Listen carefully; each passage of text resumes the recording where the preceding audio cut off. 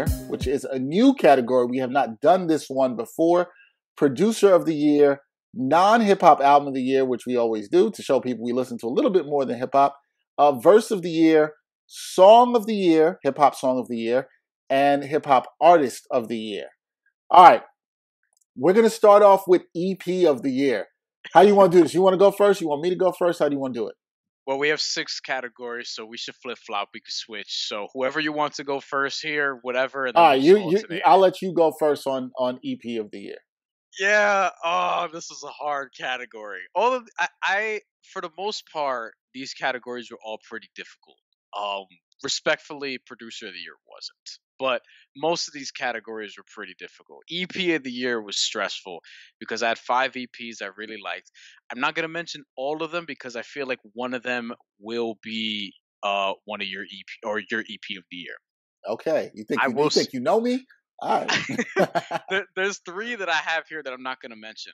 My one of my big runner-ups that I almost gave this award to, uh, and I'm to shout them out real quick. Denzel Curry and Kenny Beats had a great EP uh, called Unlocked. It was like eight joints. It was like 17, 18 minutes of music. Denzel Curry, he had bars on those records. The production, the production from Kenny Beats is really strong. You and I both like the synergy between one artist and one producer, even if mm-hmm. it's just an EP.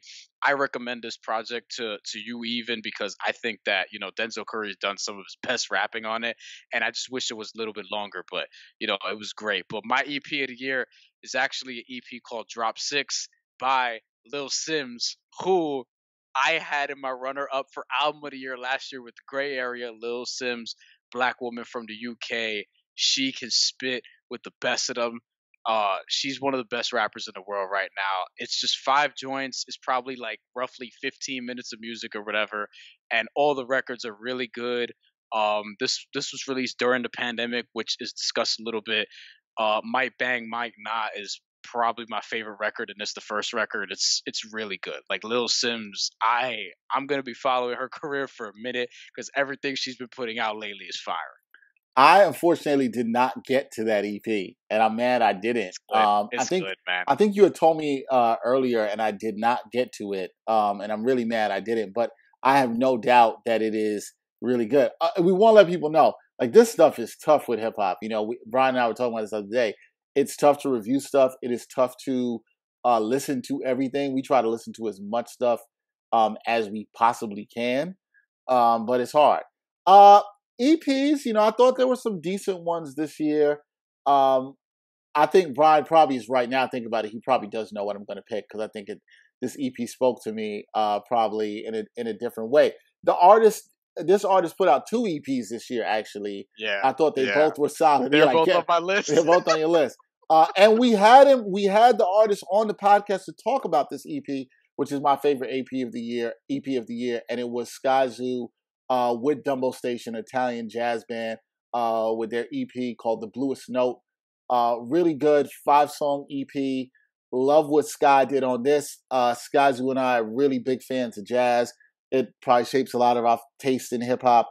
A lot that you Skyzoo's always had that influence, but for him to lean in totally, he kind of did this on uh uh what uh in celebration of us. He kind of leaned in on a lot of jazz on that album, but here on this EP, he really just goes in with a uh, very talented Italian jazz band, uh, Dumbo Station, who I checked out their work after getting through, you know, listening to this, and they're really dope. Um, but just a couple really good songs and it's good enough reasons, which was the lead single off of it, and sing comfortably. Uh, some of my favorite songs of the year, easily.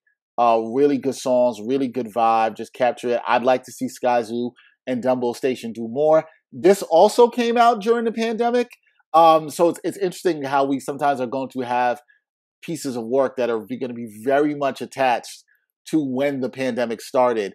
Uh, this one is one of those for me. Uh, it gave me a lot of calm. I remember listening to this a lot when I had to try to go to the supermarket and deal with long lines and avoiding people and all this stuff. You know, this was constantly on repeat. So I always associate it with with the pandemic, but in a positive way of kind of keeping my keeping me chill with the jazz I like, and also, um, you know, just give me that sound that I like as well too. So taking my mind off some things. So yeah, nah, Bluest Note. If you haven't heard that, check it out. That is my EP of the year. Uh, shout out to Skyzoo, uh, three-time veteran of the podcast.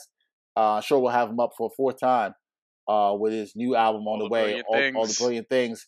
We're waiting. Also, we're waiting he- on that. Yep. Yeah, and he dropped Milestones, which was another one that was up there for me.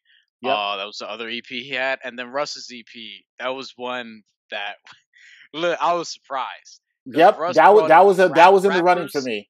He brought rapidy rappers up there, Crooked I, Benny the Butcher, Conway, Ab-Soul, and hung with everybody. Um, Black Thought. about the whole th- Black Thought, the whole thing about being Italian, we talking with our hands. That was one of my favorite bars Wow. in the whole thing. That was in the song and and and he skated on a primo beat. That's another thing that's me, which which was really dope. That was a strong EP, and I've been bump- it came out later in the year, but I've been bumping it. It definitely had consideration for me. So did Milestones, uh, one by Skyzoo, which he put out on Father's Day. It pained me. It pained me not to like Bluest No and Unlocked were oh they were two and three. It was right there for me. But Lil Simz, man, she's great. Honestly, Yeah. Now I gotta go. Now see, I didn't even check that out. So now I gotta go check that out. If you haven't checked out those EPs, definitely do. All right, next.